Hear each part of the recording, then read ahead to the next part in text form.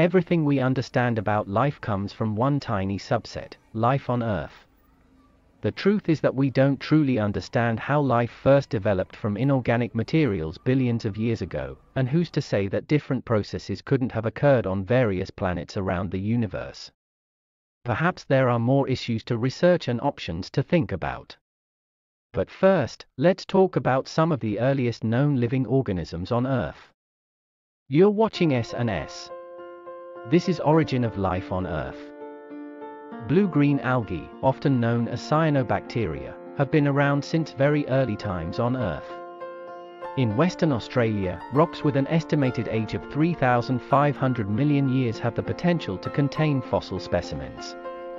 Cyanobacteria, despite frequently called blue-green algae, are not actually algae. They are prokaryotic in nature. Prokaryotic living forms include bacteria in general and cyanobacteria in particular. This simply means that their cells lack specific organelles and nuclei and that their genetic material is incorporated throughout the entire cell. All other living forms on Earth, even true algae, are made up of eukaryotic cells with organelles and genetic material that is confined in a single location, and this property is unique to bacteria and archaea. Archaea and bacteria are tough organisms, most eukaryotes would die in conditions that are hot, cold, salty, acidic, and alkaline, but they survive them.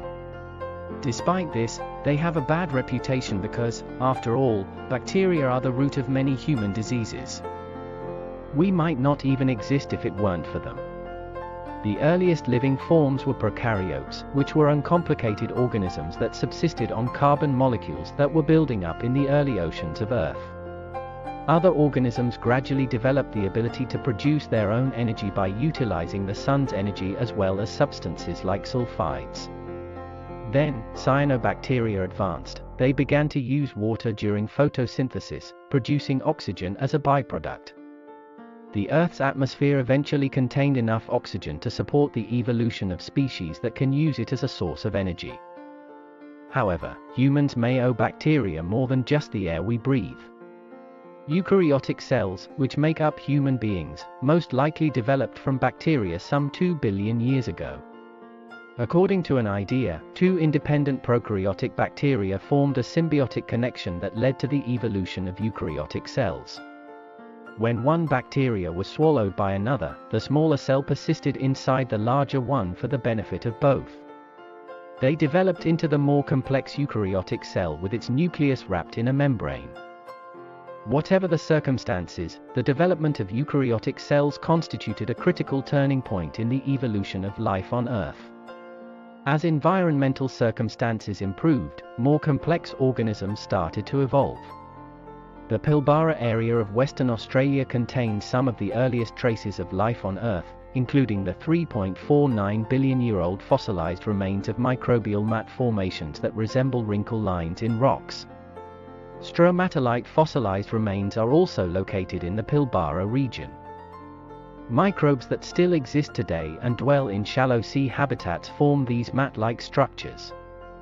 Sand builds up on top of the microbial mats, and as the microorganisms travel upward in search of light, they create characteristic layers with a bulbous appearance that eventually turn into rocks.